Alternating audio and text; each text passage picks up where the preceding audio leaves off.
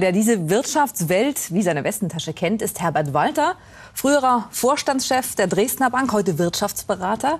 Herzlich willkommen. Herr Walter, ist Fairness oder war Fairness für Sie als Chef nicht auch eines der obersten Prinzipien? Natürlich. Also Fairness, auch Nachhaltigkeit ist, wenn Sie in diesen Organisationen sind, ein wirklich wesentliches Ziel. Aber Sie haben natürlich auszubalancieren zwischen dem, was Sie am nächsten Quartalsabschluss äh, den Aktionären abliefern und dem, was eben längerfristig auf zwei, drei, vier, fünf Jahre ist. Planen tun Sie so, dass Sie einen Kurzfristplan haben für ein Jahr, unterteilt nach Monaten, aber auch einen längerfristigen Plan, der drei bis fünf Jahre lang. Und bei dieser Planung, da schauen Ihnen natürlich welche über die Schulter, nämlich die Bankenaufsicht. Wie haben Sie die ganz persönlich zu spüren bekommen damals als Chef? Die Aufseher sind für den Chef einer Bank eine ganz kritische Größe, weil zum einen kriegen sie einen Führerschein, das heißt ohne den BaFin-Führerschein gibt es keine Vorstandsposition.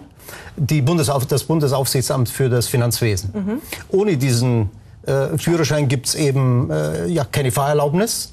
Und es äh, ist nicht so wie beim Führerschein, dass es einmal einen Führerschein gibt und dann äh, ist der Fahrlehrer nicht mehr dabei, sondern es gibt eine laufende Kontrolle. Das heißt, Sie sind in relativ engem Kontakt mit Ihrem Aufseher. Sie haben einen zugewiesenen Aufseher, eine Person mit Ihrem Team.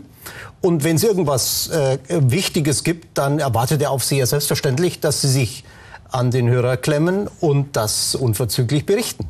Aber wenn die einem so nah auf dem Schoß sitzen, jetzt in Anführungszeichen, wie kann es dann sein, dass zum Beispiel spanische Banken so lange vor sich hin misswirtschaften können?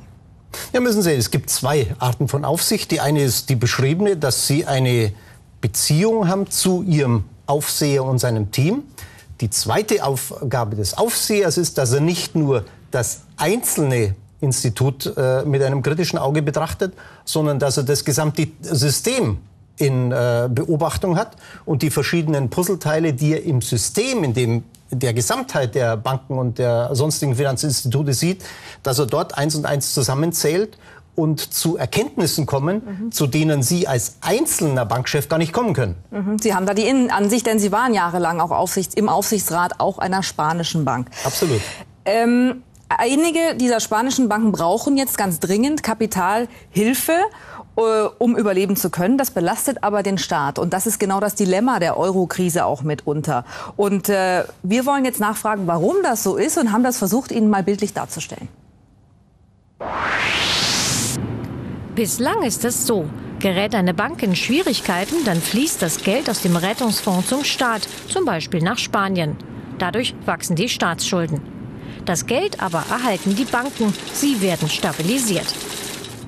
Das Problem, durch die gestiegene Schuldenlast sinkt das Vertrauen der Anleger. Spanien kommt schlechter an frisches Geld und deswegen springt nun die Bank ein, kauft Staatsanleihen. Das belastet wiederum die Bank. Ein Teufelskreis. Die Alternative? Das Geld aus dem Rettungsfonds fließt direkt an die spanische Bank. So wäre nicht der Staat verpflichtet, das Geld zurückzuzahlen, sondern die Bank haftet selbst. Ja, wenn man das so konkret sieht, Herr Walter, halten Sie die direkte Bankenhilfe für eine gute Idee? Grundsätzlich ist das eine Option. Dafür braucht es allerdings eine ganze Reihe von Voraussetzungen, die wir heute so nicht haben. So wie es bisher ist, dass die EZB wie im Dezember und Januar diesen Jahres äh, Hunderte von Milliarden eben an die Banken als äh, Dreijahresgeld äh, gibt und die spanischen Banken als Beispiel dann hergehen und das in massiver Weise eben für den Kauf von spanischen Staatsanleihen äh, verwenden. Das kann es, um ehrlich zu sein, auch nicht äh, sein. Welche Voraussetzungen müssen also geschaffen werden? Es muss die Voraussetzung geschaffen sein, dass es nicht zu Spielchen äh, kommt. Also dass nicht in Spanien dann das Bankensystem Risiken eingeht, möglicherweise sogar in Unterstützung äh, des dortigen Staates, für die da dann nicht mehr der spanische Staat mithaftet, sondern für die die Partner in der Eurozone haften. Das kann es auch nicht sein. Also die Entkoppelung von Staatsschulden und Bankenschulden ist notwendig in Ihren Augen? Ich denke, dass es notwendig ist, weil wir sind in einem Teufelskreis zwischen Banken und den jeweiligen Staaten, den es aufzulösen äh, gilt. Und da glaube ich, ist das, was jetzt äh, die Politiker sich überlegt haben, eine wirkliche potenzielle Lösung. Also, Aber es braucht Voraussetzungen. Gut, wir sind auf dem richtigen Weg. Wollen wir hoffen. Vielen Dank für Ihren Besuch, Herbert Walter.